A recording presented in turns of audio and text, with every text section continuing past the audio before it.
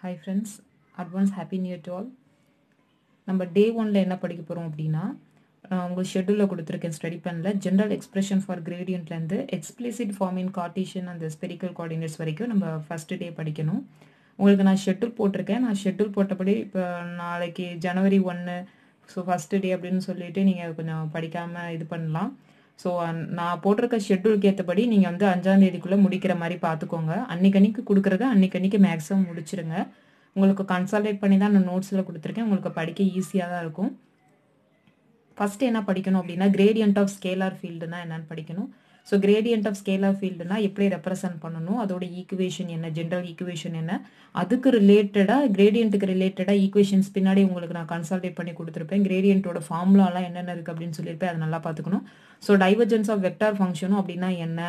அதுக்கப்புறம் அதோட ஈக்குவேஷன் என்ன? எப்படி ரெப்ரசன்ட் பண்ணுறோம் அதோடைய ஃபார்முலாஸ்லாம் பின்னாடி கன்சாலேட் பண்ணி கொடுத்துருக்கேன். அந்த ஃபார்முலாஸ் எல்லாம் நல்லா மெமரைஸ் பண்ணிக்கணும்.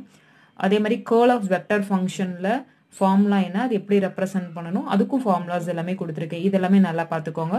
ஸோ லேப்லாஸ் ஆப்ரேட்டர்ஸ் பொறுத்த வரைக்கும் என்ன சிம்பிள் அதை எப்படி எழுதணும் அப்படின்னு மட்டும் ஜஸ்ட் பார்த்துக்கிட்டா போதும். அடுத்தது ஆர்த்தோகனல் கேர்வ் லீனியர் கோஆர்டினேட்ஸில் வந்து இப்போ அந்த ஆர்த்தோகனல் கேர்வ் லீனியர் கோஆர்டினேட்ஸில் ரெண்டு இருக்குது கார்டீஷியன் ஸ்பெரிக்கல் அப்படின்னு சொல்லிட்டு நம்ம சிலபஸில் கொடுத்துருக்காங்க.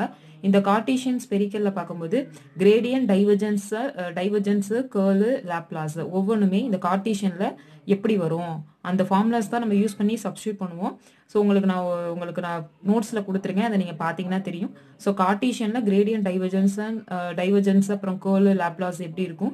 ஸ்பெரிக்கல்லையும் இந்த நாலு இது எப்படி இருக்கும் அப்படின்னு சொல்லிட்டு இதை மட்டும் நீங்கள் ஃபஸ்ட்டு டேயில் படிக்க போகிறீங்க so gradient divergence divergence curl Laplace அப்புறம் வந்து ஆர்த்தோகனலில் கர்டிஷன் அப்புறம் ஸ்பெரிக்கல் கோஆர்டினேட்ஸில் இந்த நாலு இதை எப்படி அப்ளை பண்ணலாம் அப்படின்னு சொல்லிட்டு தான் நீங்கள் டே ஒனில் படிக்க போகிறீங்க இதுக்கு ரிலேட்டடாக ஏதாவது டவுட்ஸ் இருந்துச்சுன்னா நீங்கள் உங்கள் இதை வந்து கொஸ்டின்ஸ் எனக்கு போஸ்ட் பண்ணுங்கள் நான் அடிஷ்னலாக ஆர்த்தோகனல் கர்வ்லினியர் கோஆர்டினேட்ஸில் வெக்டார் ஃபீல்டு அப்படின்னு சொல்லிட்டு ஒரு கிளாஸிஃபிகேஷன் ஆஃப் வெக்டார் ஃபீல்டுன்னு ஒரு டாபிக் இருக்குது அதுக்கு ரிலேட்டடாக கூட நம்மளுக்கு கொஸ்டின்ஸ் வர சான்ஸ் இருக்குது அது வந்து நம்மளுக்கு சிலபஸில் இல்லை. இருந்தாலும் உங்களுக்கு நான் வந்து அதை ஃபோட்டோ எடுத்து அனுப்புகிறேன் அதையும் ஜஸ்ட்டு நீங்கள் கோ த்ரூ பண்ணிக்கோங்க. ஸோ எல்லாருமே நல்லா படிங்க. இந்த டே ஒன்றில் உள்ளதை வந்து சக்ஸஸ்ஃபுல்லாக கம்ப்ளீட் பண்ணி முடிங்க. Thank you all the best